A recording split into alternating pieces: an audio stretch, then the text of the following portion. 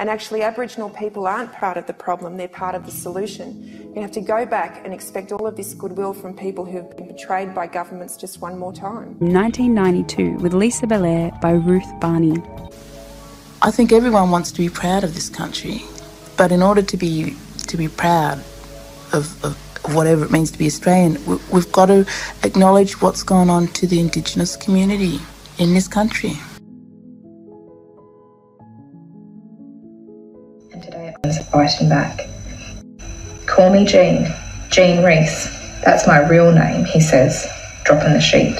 Book is um, quite unique in terms of Australian literature because it's written partly in our Aboriginal language, our Gugutha language, and the reason why that is, is because um, my mother wanted her story told in a way that um, people reading it would see through her eyes and feel what she felt as a child.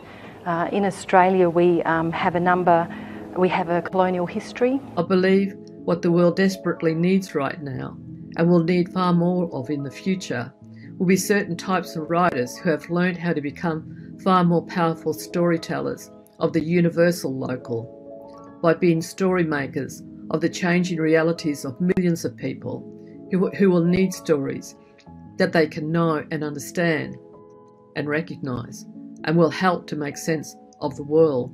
I don't talk very much about spiritual beliefs, um,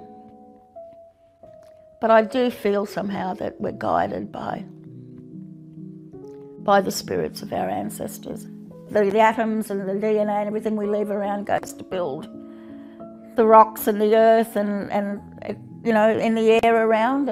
I, I suppose I, I, wrote so much about wanting to be a poet because the, for the first few years of doing it, I didn't feel like a writer.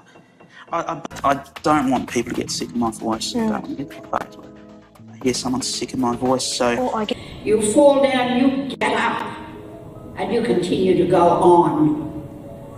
We have no failures. Today, your dream is ahead of you. Dream big.